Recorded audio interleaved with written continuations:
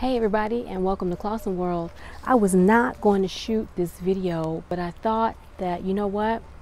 Again, not everybody has the same financial ability. And so I talked to you guys a lot about my coconut coir and I don't have a wheelbarrow to move things around. I truly don't want a wheelbarrow. I actually have a garden cart. I'm just not using it at the moment. But I am taking some coconut coir and I have it down here at my feet. I usually buy this coconut coir. You can get it online um, at Walmart. I do believe you can also get this at Amazon.com. This will expand up to 2.25 cubic feet. Now, what I normally do is I take an old bag, an old soil bag. This is a garden, an old garden soil bag. This is a two cubic feet empty bag. I've already put that coconut coir block in it. I just put it inside of this bag. Now what I'm gonna do is I'm gonna just fill that full of rainwater. Not full, but several buckets full, maybe a third of the way full, and let it fill up and loosen up that coconut coir. And if I need more water into it to uh, expand it more, I put more water into it. But I wanted to show you guys that because a lot of people, they buy coconut coir and they don't know where to put it. They don't know what to use to expand it. And you can use an old bag. This is an old soil bag. And that, that brick, and I'm going to show you, that brick is inside this bag. I am just going to pour water in this bag and let this expand. And so now I don't have to worry about transferring this coconut coir into anything else. It's already going to be in the bag that I'm going to use when I need coconut coir. So let's get some water into this bag, shall we?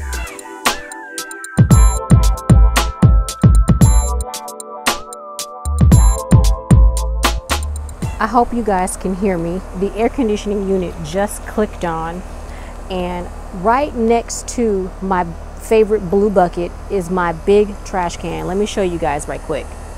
This is my big trash can. This is a 45 gallon trash can that I got from, you can get it from anywhere. Anywhere that's inexpensive that meets your budget needs. I hope I'm talking loud enough. So I take that trash can, put it in the area in the yard where I know water is going to be able to easily fall into it when it rains. I just take a bucket that you can get anywhere. I got this from the bakery from that store right there. It cost me a dollar. I fill it full of water and I pour that into this bag while allowing that coconut coir to expand. I just pour it on top of the coconut coir. Now I have been using this bucket so it's got some grapevine trimmings in there so I'm just going to get some more water and pour more water in the bag. I'm just pouring it right on top of that that brick. Can you guys see that? I'm just pouring it right on top of that brick, just like so. Just like so. And that was actually two and a half bucketfuls of rainwater. And I'm gonna let this sit here and expand. And then I'm gonna take a garden tool and prick it apart. And if I lose any of that rainwater, guess what? it's going to go inside of my bucket. It's not going to spill and I'm not going to lose that valuable rainwater. And as I can see, there actually is a, a hole in my bag, which is fine. So I'm glad that I put that bag inside of my bucket because I can see water filtering out, but that's quite all right. If that water is needed, it will be wicked back up into this coconut coir. So I'm just going to let this sit here and fill out and I will show you once it's all broken up what it looks like. But this is an easy way to utilize that coconut coir and that way you already have it inside of a bag. You don't have to worry about transporting it into some other place where you can put it, some other container. It's already readily available and all you did was recycle a bag that you already had somewhere that you were about ready to throw away. So that's how I do my coconut coir. Maybe this might help you in your new garden because I know there are a lot of new subscribers out there that have subscribed to me. They're brand new gardeners and they're looking for ways to not only save money but to utilize what they have. And this is one way to do that. So I hope you guys heard me. I'll be back to show you what this looks like when the coconut coir is fully expanded or expanded enough for you all to see it. So I'll be back shortly. While we're in intermission mode, I want to show you all this is my homemade compost. This is the compost that I showed you guys earlier this year that I put uh, chicken manure, um, guinea pig manure, guinea pig bedding, food scraps, as well as leaves. And this is what it turned out to be. There even is a little bit of um, wood chip in there, but this is my homegrown compost made with real chicken manure, comes straight from the chicken butt.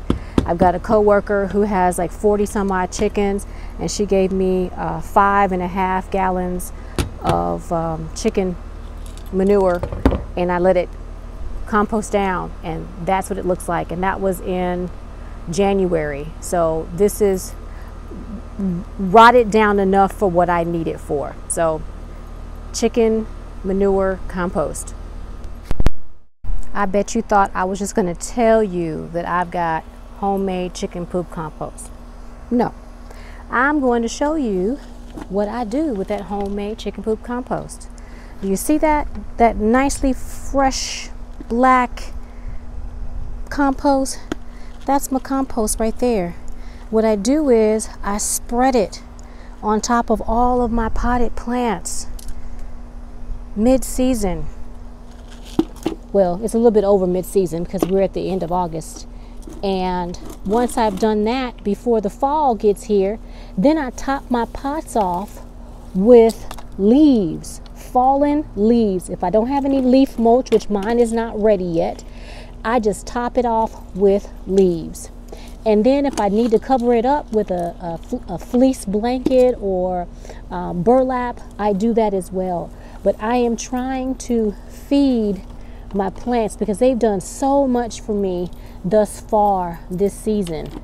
So I'm just trying to give them a little extra oomph to get them through the rest of the way. So that's what I do with my homemade chicken poop compost.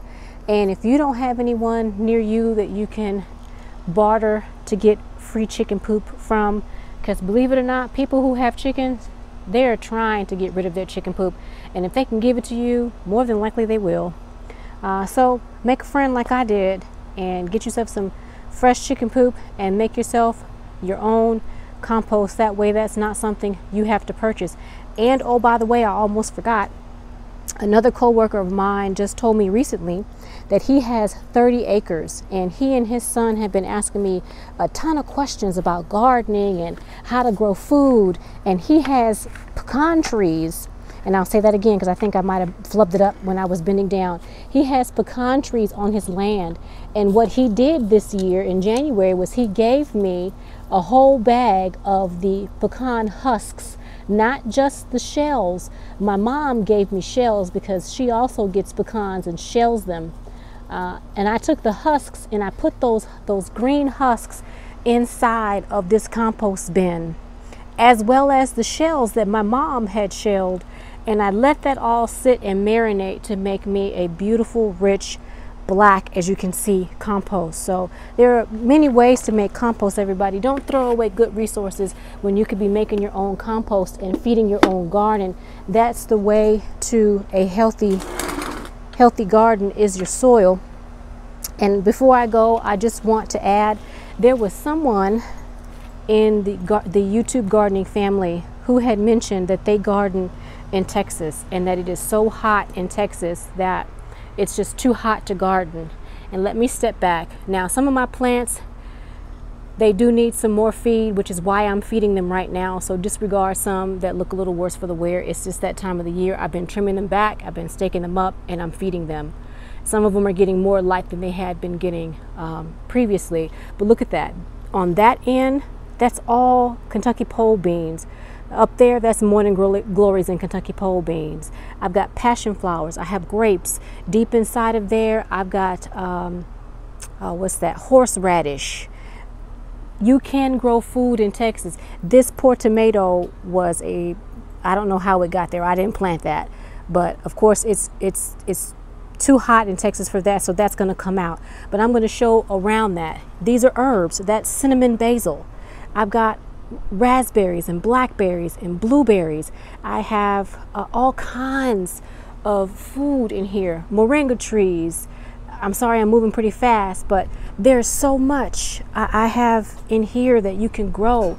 This is Texas. You, you, you have to learn how to cover your food and make uh, zones for yourself of course this all looks like it's too close to one another but there is some space in between some of those pots to give it air. I've been trimming back as you can see to give it air. You can grow food no matter where you live no matter where you are. I have grown food in Europe where we we didn't get that much light. I couldn't grow that this much but I did grow a little bit. I've got herbs in that pot. I have of course those are mums but and and that's a cover crop that's uh, clover, but I've got watermelon growing in there. It's it got eaten up, so it's probably not going to give me anything anything else this year. But I have ginger, just some of everything. Just this is a Jerusalem artichoke right here. That's that's a bamboo. Just some of I'm gonna I use that as my my my stakes to stake things up when they die, but just so much you can do in in Texas.